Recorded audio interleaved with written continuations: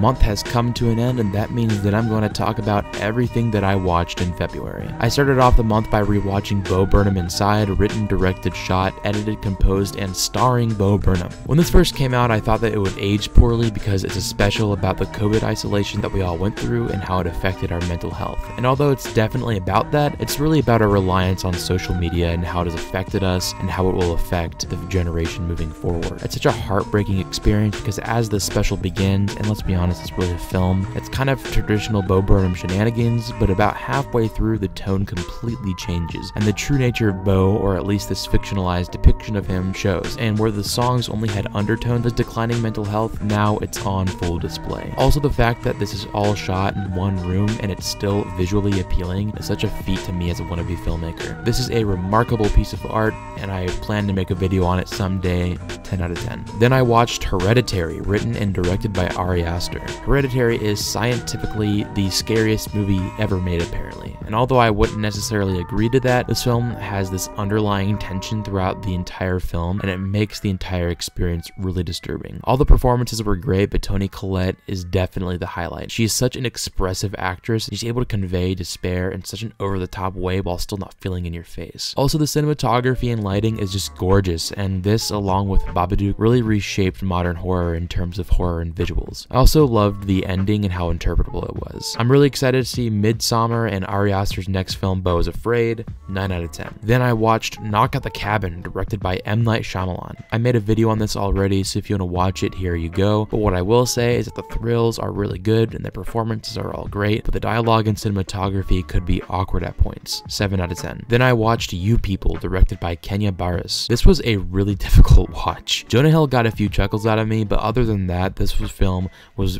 really unbearable. And Eddie Murphy's performance was really underwhelming. He's not bad or anything, it's just that he's not funny and how can you get Eddie Murphy and manage to make him unfunny? The visual style of this film is very drab and generic, and it tries to have this hip sort of editing style, but it felt forced and didn't match the tone of the film at all. The dialogue felt like a 40 year old trying to connect with teenagers, but the dialogue isn't coming out of a teenager, it's coming out of a 40 year old. I don't know what they're going for, but it was not good. Jonah Hill also had no chemistry with Lauren London, and the relationship felt really forced. I can't say if she's a good actress or not because I've not really seen her in anything, but uh, she was not great here. Honestly, I think this film could be really cool because it's rare to see a film about the struggles of a biracial couple in the modern world. Huge missed opportunity, and this is by far the worst film of the year so far, 3 out of 10. Then I watched Stagecoach, directed by John Ford. So I'm not really a huge John Wayne fan because oftentimes his ego surpasses his performances, but here he was really good and it made me wish that he'd put this much effort into all of his films, but uh,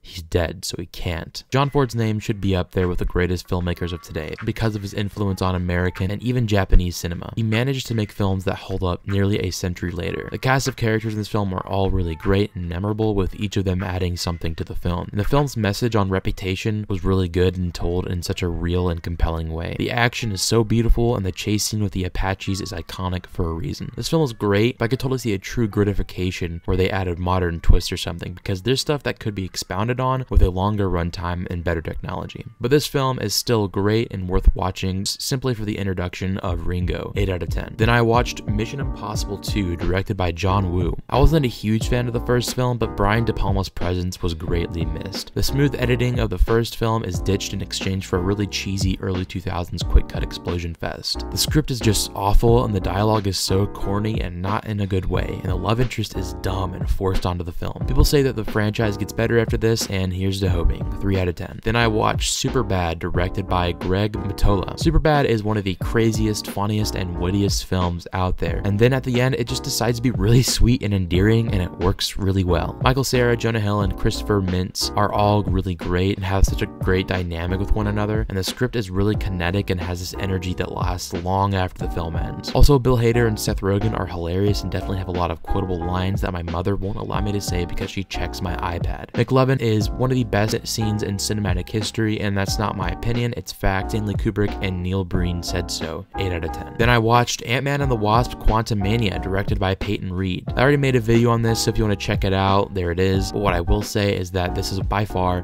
one of the worst MCU films since Thor the Dark World. However, one positive that I forgot to mention in my review is that I liked the ambiguity of the ending. 3 out of 10. Then I watched Sisters, directed by Brian De Palma. Sisters combines all of the elements of Hitchcock's best films, the thriller element from Psycho, the mystery element from Rear Window, and the timeline element from Rope. Also, the performances from Margot Kidder and Jennifer Salt are great, and William Finley is a major creep in this film, and I love it. The thrills are so intense, the music is very 70s, and the ending is open-ended. Literally everything you need in a film like this. One thing I will say is that at points, the music could be overbearing and didn't really mix well with the rest of the film in terms of volume. This film should definitely have more attention drawn towards it, 8 out of 10. Then I rewatched Rocky, directed by John G. Avildsen. Rocky is such an interesting film to me because it's a sports drama, but it doesn't really focus on boxing until the end of the film. The first hour and 20 minutes of this film is about Rocky trying to get by, and I really love that. Sylvester Stallone is so good as Rocky, and he's such a relatable character, and Stallone doesn't try to give Rocky a tough guy persona. He's not only struggling, but he's also just a nice guy. Only problem I do have with this film is that it's really grounded and everything feels real except for Apollo Creed, who feels like a really cartoony villain. If we would have gotten more characterization from Apollo and the film painted him like an actual person, then this could have been even better than what it already is. The score is beautiful, the slice of life pace is great, the cinematography is melancholy and matches the energy of the character of Rocky so well. It's iconic for a reason, 8.5 out of 10. Then I rewatched Teenage Mutant Ninja Turtles 2014, directed by Jonathan Liebesman. Okay, this isn't great, but like,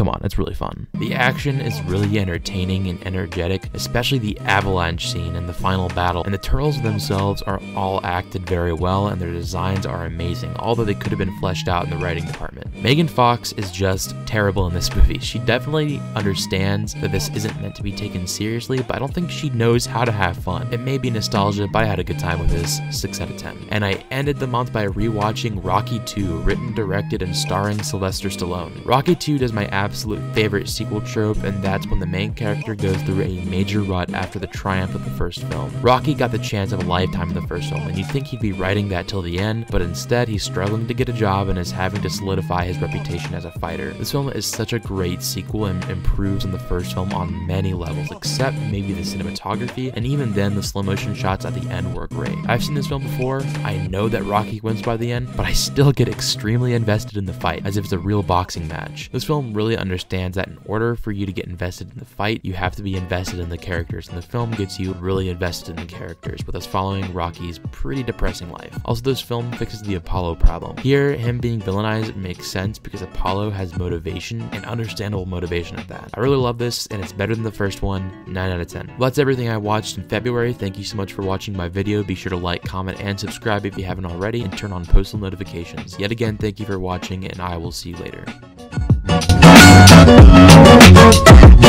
Thank you.